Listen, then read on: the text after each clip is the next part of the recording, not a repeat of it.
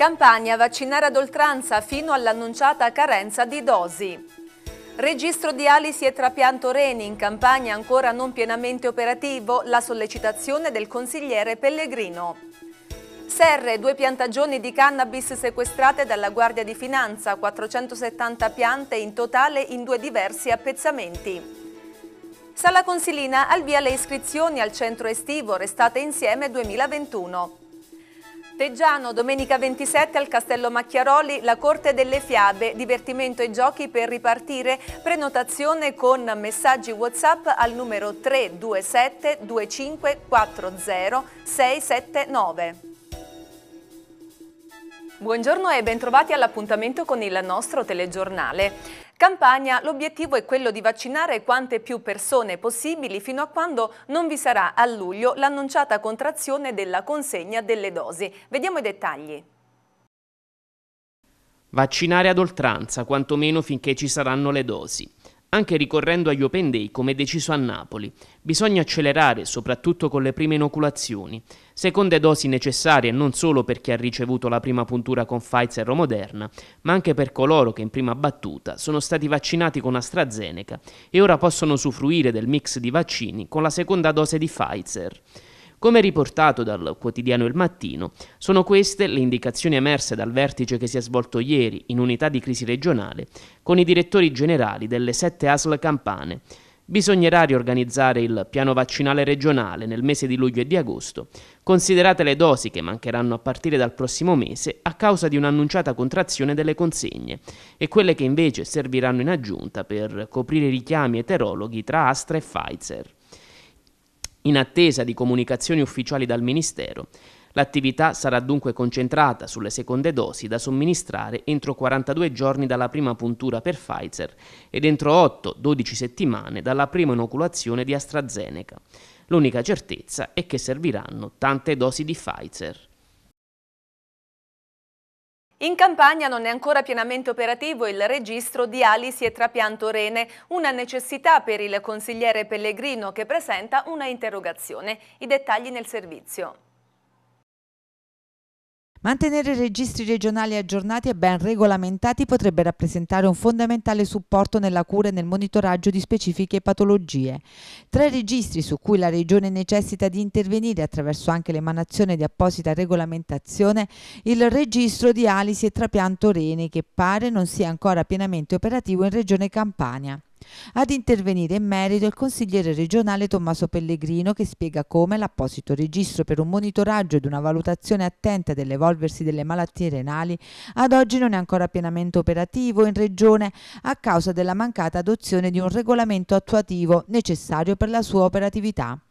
I registri di patologia vengono oggi considerati fondamentale risorsa clinica anche nell'ambito delle cure necessarie e degli interventi da eseguire, rivelandosi quindi importanti anche per sostenere il progresso e la ricerca su particolari tipi di patologie, anche gravi, e per aiutare i pazienti nel decorso della malattia. La loro funzione spazia dalla registrazione che ne consente il monitoraggio sul territorio passando per la prevenzione ed anche per consentire nuovi approcci terapeutici. Da qui l'interesse del consigliere regionale sassanese che ha presentato un'interrogazione con l'obiettivo di sollecitare l'adozione da parte della regione Campania dello strumento particolarmente utile a tantissimi pazienti e indispensabile per una corretta programmazione e pianificazione sanitaria sanitaria. L'effettiva operatività del registro di alisi e trapianto del rene, ha precisato Pellegrino, avrebbe riflessi positivi in termini di assistenza e monitoraggio verso i pazienti dializzati e consentirebbe, soprattutto in una fase emergenziale come quella che stiamo vivendo, di individuare con accuratezza casi clinici che consigliano un potenziamento dell'assistenza dialitica domiciliare evitando al tempo stesso una sovraesposizione al contagio da Covid-19 da parte dei soggetti fortemente immunodepressi. Ora la cronaca, i militari della Guardia di Finanza hanno posto sotto sequestro 470 piante di cannabis rinvenute in due distinte piantagioni nel territorio di Serre, una maxi operazione che ha portato all'arresto di tre persone colte in flagranza di reato. I dettagli. Tre persone sono state arrestate dalla Guardia di Finanza di Salerno con conseguente sequestro di 470 piante di cannabis. Arrestati in flagranza i tre responsabili nel corso dei normali servizi di controllo economico del territorio, i finanzieri del Comando Provinciale di Salerno hanno scoperto due vaste piantagioni di cannabis, sottoponendo a sequestro complessivamente 470 piante. Con un primo intervento presso un'azienda agricola di Serre, le fiamme gialle della compagnia compagnia di Eboli hanno rinvenuto 220 piante di una particolare tipologia di canapa indiana, la cosiddetta autofiorente nana, caratterizzata da una fioritura molto veloce e dalle dimensioni ridotte denunciando i due presunti responsabili. Un analogo risultato è stato poi conseguito in un'area demaniale lì vicina, in prossimità della quale i militari avevano notato un'autovettura sospetta accostata lungo il ciglio della strada provinciale 317. Dopo aver pedinato i tre soggetti scesi dall'auto, la pattuglia è arrivata nel punto in cui si estendeva una seconda coltivazione di marijuana nascosta dalla fitta vegetazione, con ulteriori 250 piante alte anche due metri. Durante il sopralluogo è stato rinvenuto, ben occultato tra gli arbusti, un ingegnoso sistema di irrigazione ricavato mediante una motopompa che raccoglieva l'acqua direttamente dal vicino sele con un generatore di corrente alimentato a gasolio. I responsabili, colti in flagranza di reato, sono stati subito fermati anche grazie all'ausilio di una seconda pattuglia di finanzieri intervenuta sul posto dopo che i tre avevano tentato la fuga. Su disposizione della Procura della Repubblica di Salerno, che li ha chiamati a rispondere del reato di coltivazione ai fini di spaccio di sostanza stupefacente, sono stati condotti presso la casa circondariale di Fuorni.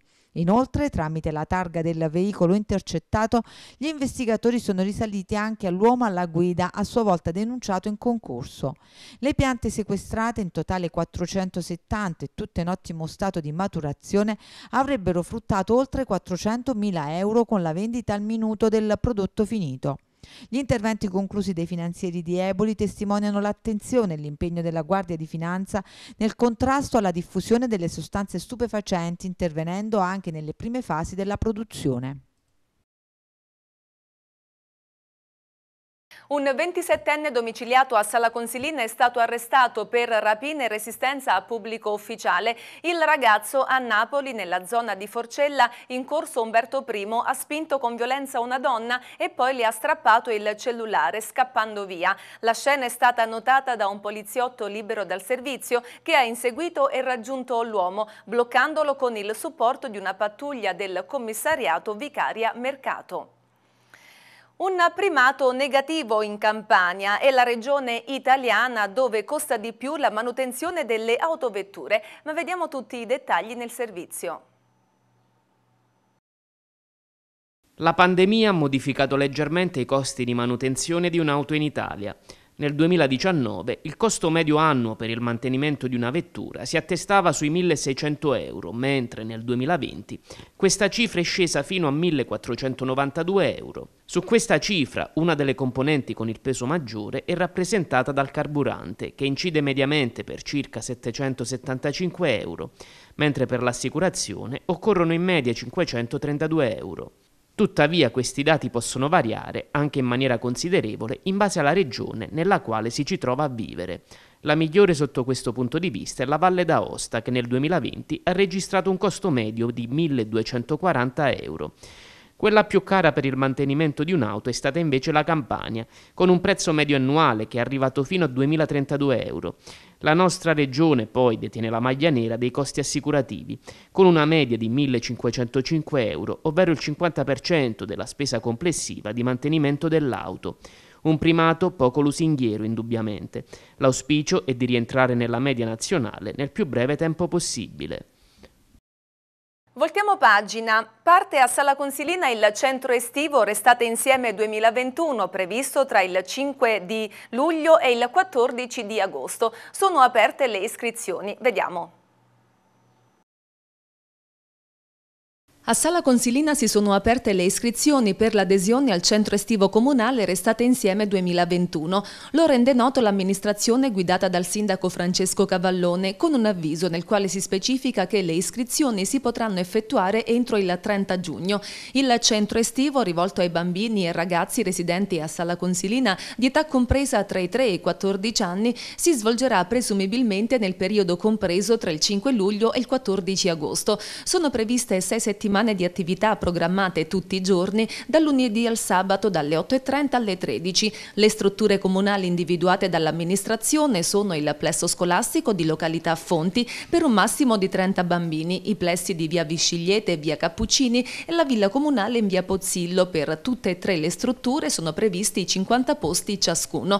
Nel caso in cui il numero delle domande sia superiore a quello dei posti disponibili, spiegano dal Comune, sarà stilata una graduatoria che terrà conto conto di alcuni criteri, tra cui la certificazione di disabilità grave, un valore ISEE non superiore a 8.000 euro e bambini appartenenti a famiglie monoparentali. La domanda di adesione all'iniziativa deve essere presentata entro il 30 giugno direttamente all'ufficio protocollo del Comune oppure tramite email di posta elettronica certificata con allegati tutti i documenti necessari. Il costo del servizio, spiegano ancora dall'amministrazione, sarà per metà a carico dei genitori e per metà a carico del comune. Ora ci fermiamo per un po' di consigli per i vostri acquisti, a tra poco. Bentornati in studio, proseguiamo con il nostro telegiornale. Ha fatto tappa ieri a Sanza la quarta edizione dell'Italian Challenge. Lo stemma del comune è stato consegnato a due motociclisti e arriverà in Germania e in Olanda. Vediamo.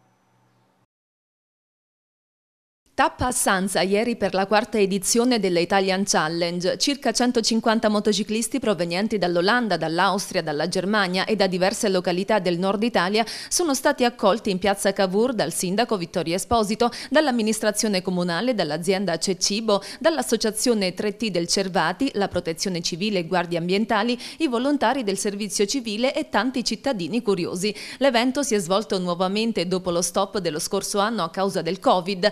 Part Partiti da Riccione con arrivo previsto a Maratea, dopo quattro giorni di viaggio, i motociclisti hanno fatto tappa a Stanza, siglando anche l'impegno formale per il prossimo anno a fare tappa sul Monte Cervati. Italian Challenge è un evento unico nel panorama motociclistico per la tipologia di percorso, con un itinerario di oltre 1200 km.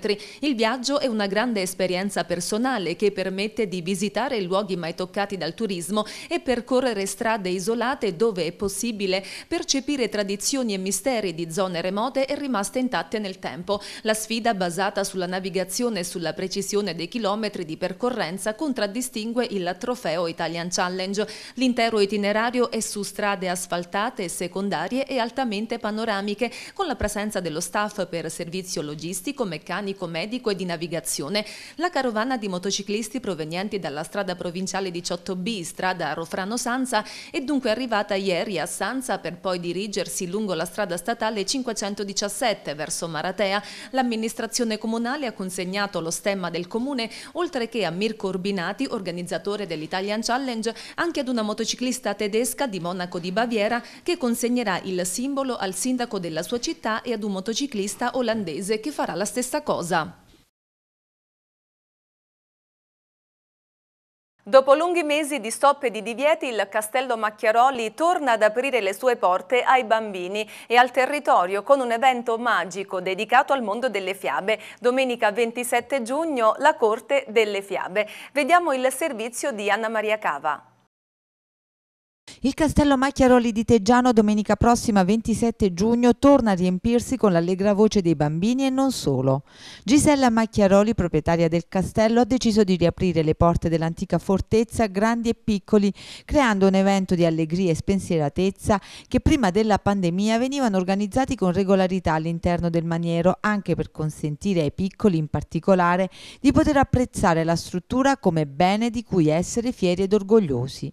A distanza ormai di due anni il Castello Macchiaroli torna a far festa e a creare allegria e divertimento grazie all'iniziativa alla Corte delle Fiabe per un pomeriggio di giochi in cui ci si stringerà intorno alla principessa assopita a causa di un incantesimo. Toccherà ai partecipanti all'evento cercare di destarla dal suo lungo sonno. A partire dalle ore 16 del pomeriggio, quindi, Gisella Macchiaroli accoglierà grandi e bambini al castello per regalare a tutti un primo pomeriggio di divertimento e di avventura in cui sarà necessario unire le forze per salvare la fantasia e l'immaginazione che sono in pericolo. Si cerca quindi di ripartire anche al Castello Macchiaroli dopo questi mesi tristi e drammatici che hanno segnato profondamente le vite di tutti, tra la paura e il sospetto, tra la perdita di socialità e le scarse occasioni di incontro, tra la voglia di tornare indietro e la speranza nel futuro. L'antico maniero, quindi, per volontà della sua proprietaria, vuole riprendere a regalare divertimento, in particolare ai più piccoli, sotto lo sguardo sereno dei genitori e, seppur nel rispetto di tutte le normative anti-Covid in atto, cercare di restituire una parvenza di normalità a chi vorrà partecipare all'evento. La Corte delle Fiabe sarà aperta dalle ore 16 alle ore 21 e sarà ad accesso limitato solo su prenotazione. Durante l'appuntamento sarà possibile visitare l'antichissimo castello ricco di storia e in cui si sono consumati importanti eventi storici per il sud Italia. Per rallegrare l'appuntamento il maniero sarà abitato da tanti strani e particolari personaggi, mentre i partecipanti saranno coinvolti in ardue prove che dovranno superare per salvare la principessa. Da Sala Consilina i ragazzi di Radio Lasagne Verdi in diretta da Roma hanno raccontato la loro storia e hanno invitato la ministra Dadone nel Vallo di Diano. I dettagli. Intensa giornata a Roma per i ragazzi di Radio Lasagne Verdi di Sala Consilina, ospiti dell'importante evento GENC Generazione Changemaker a cura dell'Agenzia Nazionale per i Giovani e Ashoka Italia. Alla presenza della Ministra per le Politiche Giovanili Fabiana Dadone, i giovanissimi speaker di Sala Consilina hanno vissuto forti emozioni parlando del proprio territorio, della propria attività radiofonica e invitando anche la Ministra nel Vallo di Diano. I ragazzi infatti sono stati scelti in rappresentanza di tutte le 101 web radio presenti sul territorio italiano e figlie del progetto ANG in radio più di prima, con l'obiettivo di raccontare la loro storia, rendendo noto il cambiamento apportato dai giovani nel territorio grazie al proprio impegno. Siamo andati nella zona di Tormarangia, ha spiegato uno dei giovanissimi speaker, Giuseppe Auleta, dove tempo fa è stato realizzato un progetto di riqualificazione attraverso un contest di murales. Ora l'area è un museo a cielo aperto, c'è il primo condominio al mondo in cui vivono le persone che è anche un museo. Abbiamo incontrato la ministra per le politiche giovanili e la direttrice dell'Agenzia Nazionale Giovani e alla presenza di diverse personalità politiche e rappresentative di altri enti abbiamo parlato del nostro territorio e di come stiamo affrontando la sfida della radio ma anche di quali sono i benefici. Per noi è stato importante prendere parte a un progetto che dà la possibilità ai giovani dai 12 ai 35 anni che fanno qualcosa di lodevole di testimoniare il cambiamento nel territorio in cui vivono. Infine, ha concluso Auleta, abbiamo invitato sia la ministra Dadone che la direttrice dell'Agenzia Nazionale Giovani a venire a Sala Consilina. Abbiamo consegnato loro delle forchette personalizzate con la scritta Radio Lasagne Verdi sperando di poter mangiare insieme. Non sappiamo quando, ma ci hanno detto che verranno.